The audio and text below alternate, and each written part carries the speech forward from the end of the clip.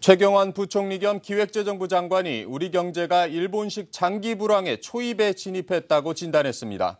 가계부채 문제를 해결하기 위해서는 집값이 더 이상 떨어지지 않을 것이라는 확신을 심어주는 것이 중요하다고 강조했습니다. 한경 밀레니엄 포럼에 참석한 최 부총리를 이주비 기자가 만났습니다. 같은데 우리 경제도 아마도 아마도 저는 이 흐름을 여기서 끊지 않으면 이미 잃어버린 50, 20년에 한, 주, 한, 한 5년 차쯤 가 있는 거 아닌가. 취임 40일을 간 넘긴 최경환 부총리의 우리 경제에 대한 진단입니다. 한국은행의 물가 안정 목표를 3년째 밑돌고 있는 저물가 문제가 심각한 상황에서 저성장까지 고착화되면 디플레이션이 심화될 것이라고 덧붙였습니다. 최 부총리는 오늘 오전 한경 밀레니엄 포럼 조찬 강연회에서 경제 상황에 대한 이 같은 진단과 함께 이를 극복할 수 있는 다양한 방안을 언급했습니다.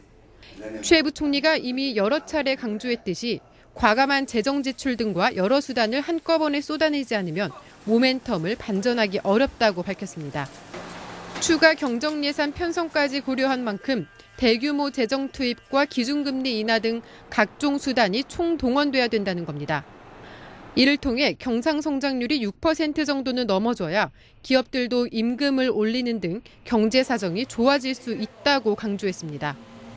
특히 최 부총리는 부동산 시장의 활성화를 강조했는데 돈이 과도하게 부동산에 묶여 있어 내수가 어렵다고 지적했습니다. 다만 부동산 규제 완화에 수반되는 가계부채 증가 문제와 관련해서는 주택 거래가 이루어지지 않으면 가계부채 문제도 해결할 수 없다는 역발상이 필요한 때라고 설명했습니다. 적어도 집값이 지금보다 떨어지지도 않을, 떨어지지는 않을 것이다. 하는 확신을 시장에 어떻게 빨리 확신을 심어주느냐가 저는 굉장히 중요하다. 이 거래가 이루어지면서 돌도록 그 하지 않으면은 이 가계부채 문제를 해결할 수 없다. 오히려. 더불어 최 부총리는 내년 예산도 확정적으로 편성해 곧 국회에 제출할 것이라며 올해 4분기부터는 우리 경제가 좀 나아질 것이라고 기대했습니다.